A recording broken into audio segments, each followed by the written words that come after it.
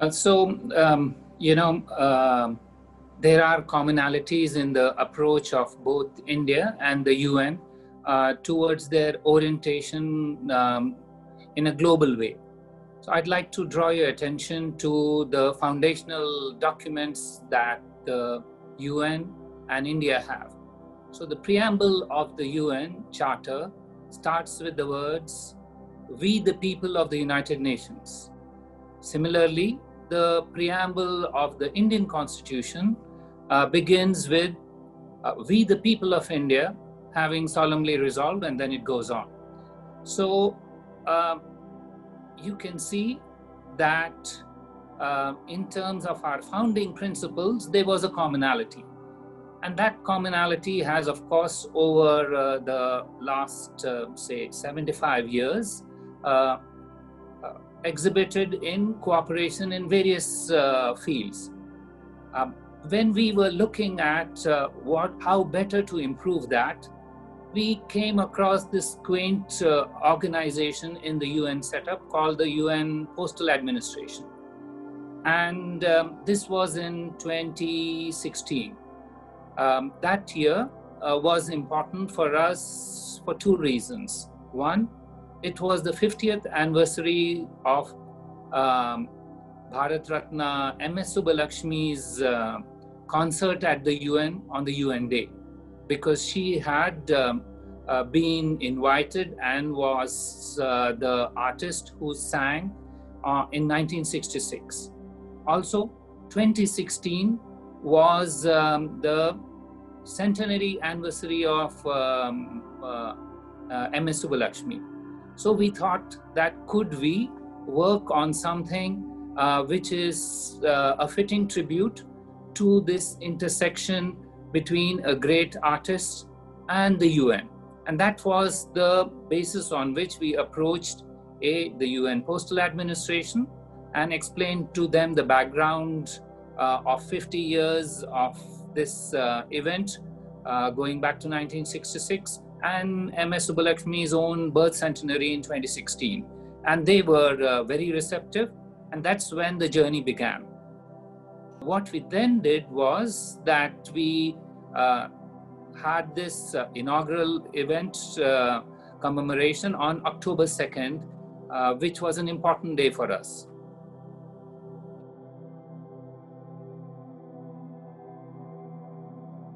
So, um, the UN is a platform where uh, people from different cultures, different civilizational practices, and different countries uh, intersect. Um, and yes, the focus is on political issues, on um, uh, global economic development, and social um, areas. However, there is an important underpinning to this, and that is the culture of peace that the UN wants to promote uh, requires also a better civilizational understanding. And that was the theme of um, Dr. M.S. Subbulakshmi's um, uh, famous um, bhajan, uh, which uh, was actually an ode to global friendship. Um, it's very interesting. It was uh, written by then the Shankaracharya, uh, who was a sort of a spiritual guru of uh, MS Subbulakshmi and who composed this specifically for that occasion. And the UN was the right platform for that.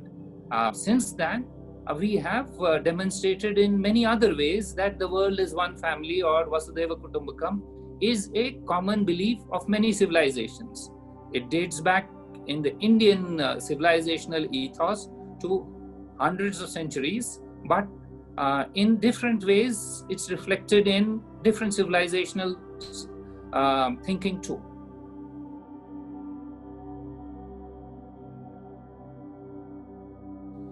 So, culture um, uh, is a reflection of um, centuries of uh, thinking of a civilization, and um, it underpins uh, a better understanding of uh, uh, global brotherhood or commonalities. And the UN has, um, since the 90s, been focusing on the culture of peace, uh, better understanding of civilizations, um, it's also a platform for pluralism. Uh, so, in all these aspects, um, there are potential uh, avenues to cooperate and expand better understanding. So, we started with the uh, MS uh, ode and invocation to uh, uh, global brotherhood, but there were other aspects which we thought we could utilize. For example, um, in 2016, for the first time, the UN expanded the number of holidays it has. Uh, there are some holidays which are fixed holidays, which are fixtures, but at that stage, uh, there was a feeling that these do not reflect the sentiments of other parts of the world. So, um, going back to 2015, uh, there was a discussion in the UN General Assembly, and the number of holidays were added to, and what was called was floating holidays were added. So, one of the floating holidays was Deepavali or Diwali, the Indian Festival of Lights. There was another one, I think it was Yom Kippur. Uh, both these are um, uh, age old traditions. Uh, they reflect uh, universal values and they reflect uh, common basis on which the UN Charter exists. Um, so, this was another um, facet of civilizational understanding which we thought we could use. So, the next year, after the first uh, year in which uh, the floating holidays concept came into being, we then requested the universal, sorry, the UN Postal Administration to consider uh, using some of the photos that were available uh, at the first celebration of Deepavali at the UN. And so uh, there was a stamp which was brought out in 2017, which added to the global understanding of a certain principle, which again uh, is common to the ethos of many civilizations. Um, Deepavali uh, stands for um, the uh, fight between good and evil. That's a constant uh, discussion at the UN. It uh, embodies itself in many ways. Uh, also, it's a um, celebration of victory of righteousness over evil or lightness, uh, light over darkness. Uh, again, this is a constant endeavor of diplomats at the UN. So it was befitting. Uh, uh, the, for the first time, the UN building was awash with Deepavali uh, colors and was lit up. And it was a proper uh, way to commemorate this on a long term basis.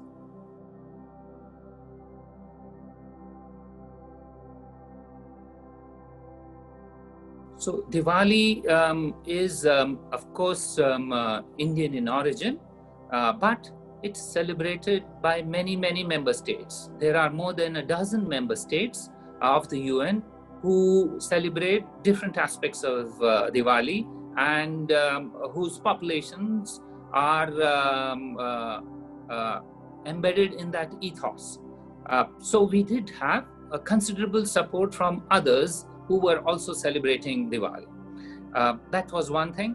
The other was that, uh, as I mentioned, that uh, victory of good over evil is a global norm. Um, it's something that enthuses everybody. Um, it's there in many civilizational uh, thinking, in uh, the thinking of many civilizations, but uh, many didn't know what uh, it embodied for a country like India and for those who celebrated. So um, it uh, did gather a lot of interest because many realized that uh, what they were doing in terms of practice was a precept which underpinned uh, the civilizational ethos of India and many other countries. Also, at that time, um, there was an effort in the United States uh, to uh, have a Diwali stamp. Um, again, that was a long-standing effort uh, by some Indian groups. Um, there was um, um a, a, very, very strong movement, which led to the finally um, the uh, issuance of a Diwali stamp by the US Postal Administration, which was again very popular. So the atmosphere was perhaps conducive uh, both in the United States and at the UN for it to succeed. I was just a small catalyst in that uh, effort.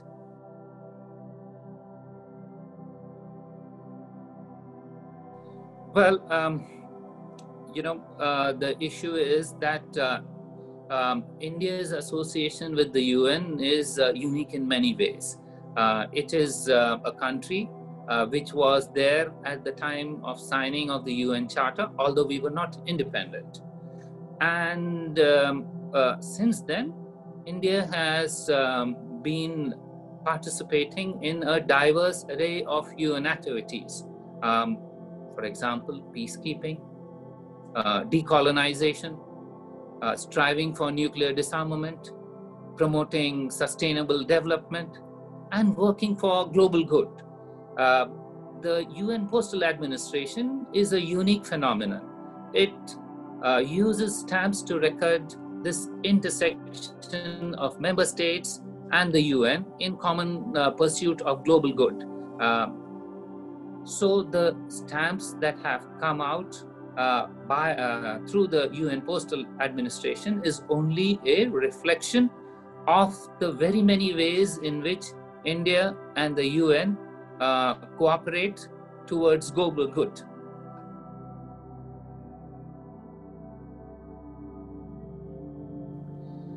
So Gandhiji was a global icon and an advocate for the most vulnerable.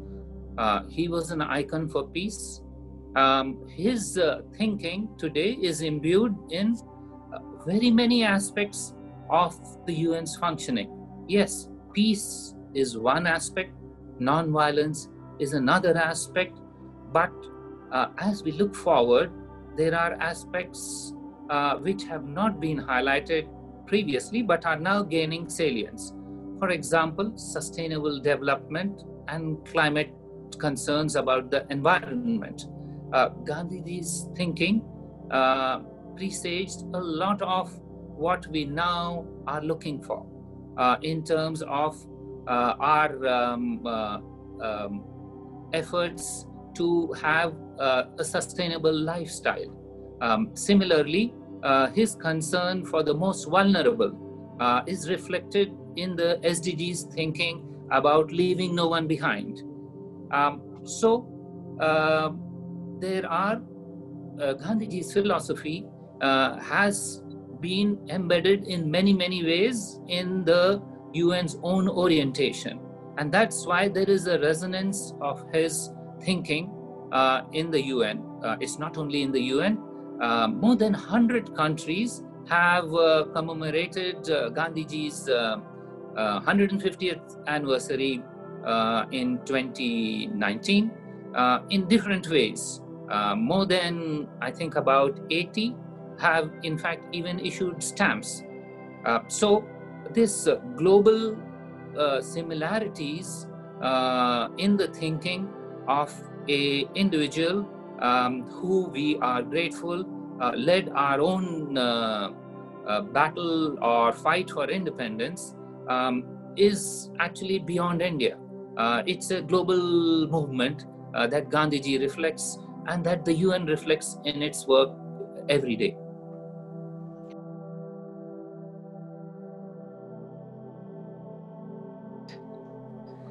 So, uh, the Gandhi stamp uh, is a culmination of uh, years in which we have worked with the um, UN Postal Administration. I must compliment them because uh, they have many unique uh, facets. Uh, they are not very well known, but it's the only non-country and non-territorial institution uh, that is allowed to issue stamps.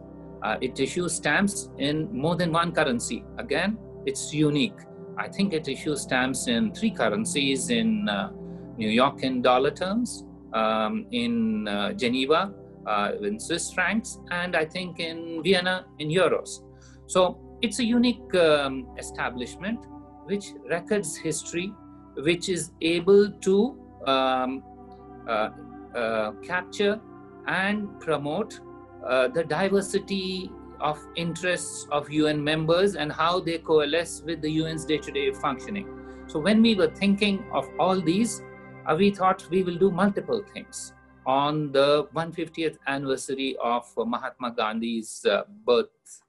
And one was the stamp, but we thought that the stamp should not be confined only to um, uh, peace and security because uh, there was already a facet of that uh, in the International Day of Nonviolence on October 2nd that we celebrate. So we looked at other facets uh, of highlighting Gandhiji's legacy and his commonalities with the UN, and we came up with his uh, advocacy of uh, environment.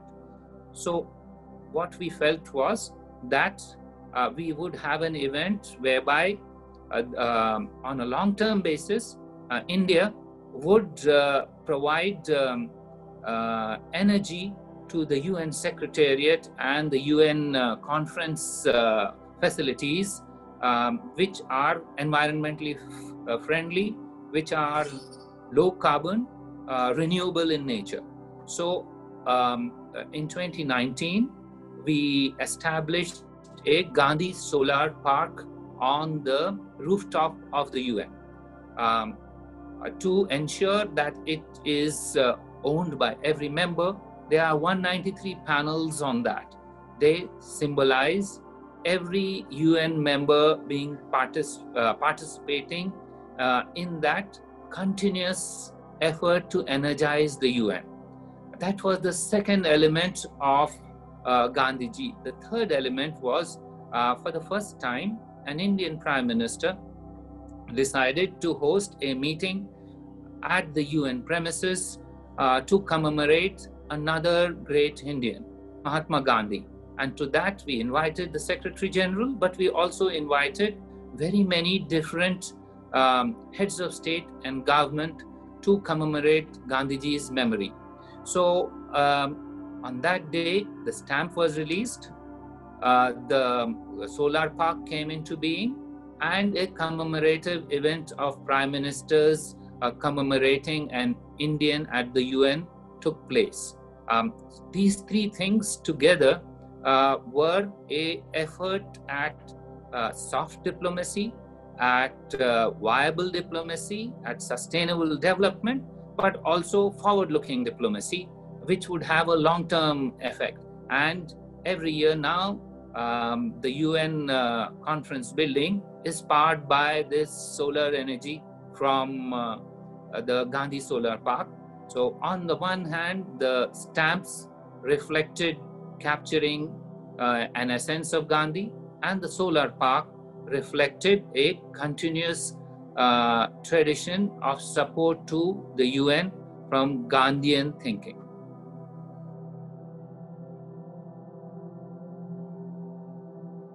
Well, you know, um, it's uh, difficult for a person to choose between his five fingers. I can't choose uh, uh, uh, which would be the best because um, each stamp has a story. Um, they are not only um, uh, tokens of payment of postal taxes or uh, for sending messages. Uh, every stamp helps transmit a different idea via circulation. It ensures the longevity of a thinking. And people who buy it and preserve it claim a certain connection to the event, to the principle, to a shared history. Um, they recognize it not only as a source of information, but as a part of history that they can relate to. So uh, I am uh, wedded in many ways to all of them. Uh, each has a story, each has a background, and each is memorable in its own ways. Um, so for me, they're all uh, my favorites uh, because uh, I have worked for them in ways uh, that many people did not realize uh, it was important. But to me, uh, it is a lasting um, reflection of India and the UN working together to promote each other's values.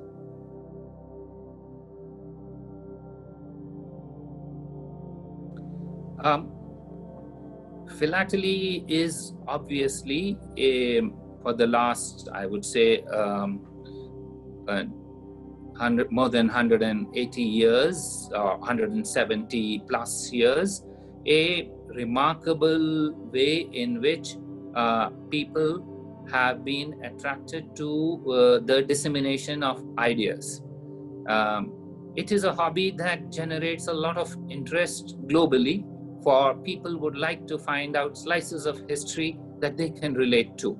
Uh, however, uh, we can see that uh, as um, digitization is proceeding uh, and communications are changing, uh, snail mail, as they say, may uh, not have the resonance that it used to have when, say, I was growing up as a child. Um, there may be less need for postage stamps as uh, tokens of uh, uh, currency to send documentation from one place to another. But that doesn't mean that philatelists will lose their roles as cultural currency entirely. Uh, philately to me is a cultural currency. Um, it has value beyond money, it has value beyond history, and it has value in that it promotes shared uh, philosophical ideas which are important uh, for as an underpinning to many of our day-to-day activities whether in peace and security or in economic development or in understanding humans better so that role of philately and stamps is, I hope, uh, going to be everlasting.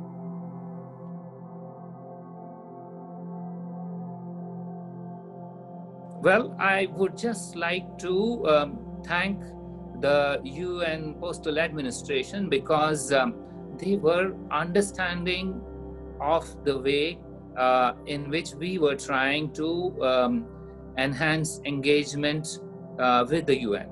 Uh, many times uh, they were uh, amenable to printing these stamps at short notice. Usually, they have a two year period in which they plan for. we didn't have the luxury of planning such things so much in advance uh, when we started off.